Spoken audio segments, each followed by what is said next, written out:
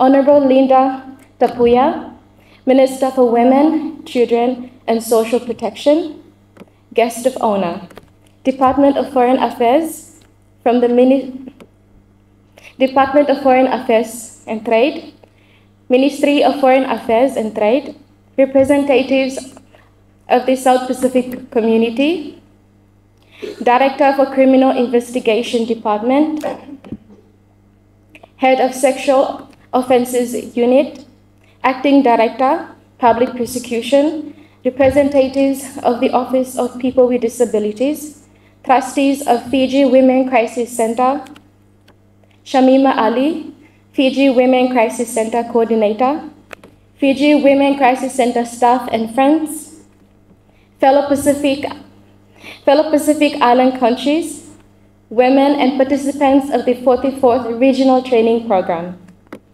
ladies and gentlemen. I am here representing the Melanesian region from the beautiful island countries of Vanuatu, Papua New Guinea, Solomon Islands, and Papua. Hello, welcome. Hamamas you. Hello, all kepa. Foi. Bula vinaka. Good afternoon, everyone. As we gathered here tonight, let us take a moment of silence in honor of the women who have fought against the violence against women and girls, and also for the women who have lost their lives. Please. Let's all rise and take a minute of silence.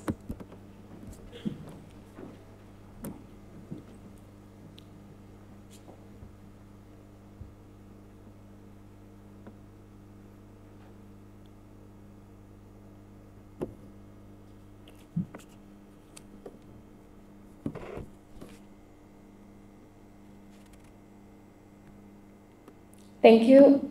Please have your seat.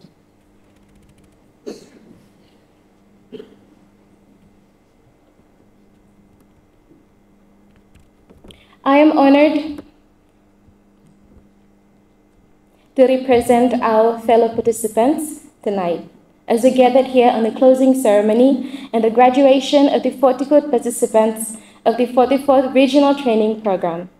We are privileged be part of this prestigious program, which has provided us with transformative four-week journey of self-awareness, gender sensitization, knowledge, and skills. Globally, one in three women experiences violence in their lifetime. In the Pacific, the statistics is even more alarming. Two in three women experience some form of violence in their lifetime. And these statistics are not just numbers, they represent our mothers, our sisters, our wives, and even our daughters. For instance, in Papua New Guinea, over 400 cases of sorcery have been reported, with 40% leading to violence.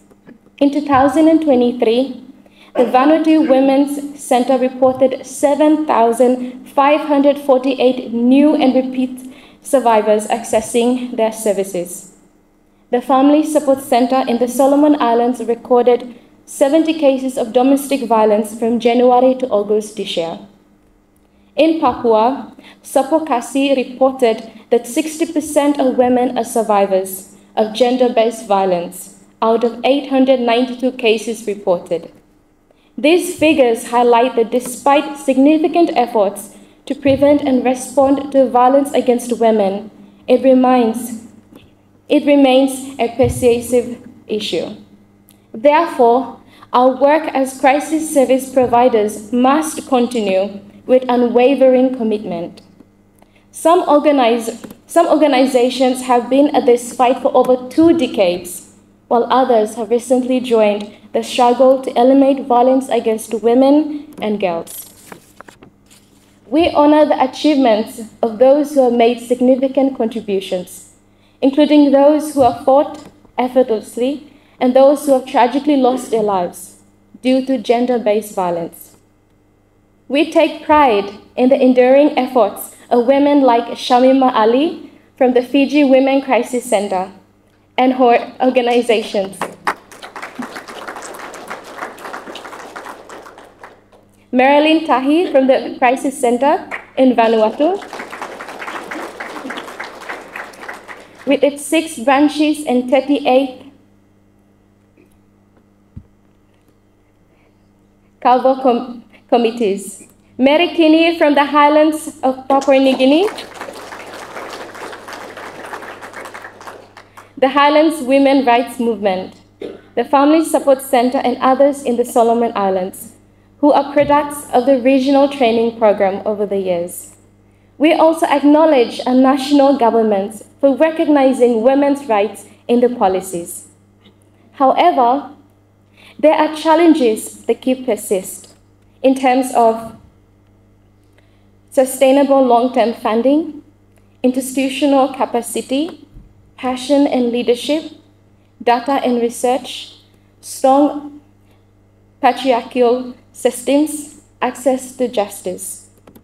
But despite of all that, this training reinforced the passion with each and one of us. And I, and I believe that all of us, the participant, can testify that we are empowered after the training.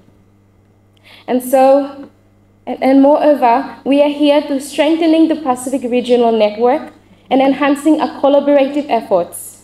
Also, continued commitment from us, our partners and stakeholders, and increased advocacy and training across the region.